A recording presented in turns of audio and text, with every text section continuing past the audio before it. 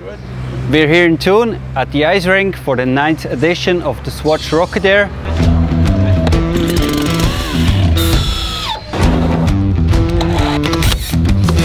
We constantly change the course.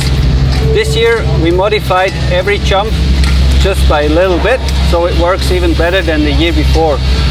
At the last line we changed we changed it completely and we built a spine and a quarter to bank with a dirt landing instead of a normal quarter pipe.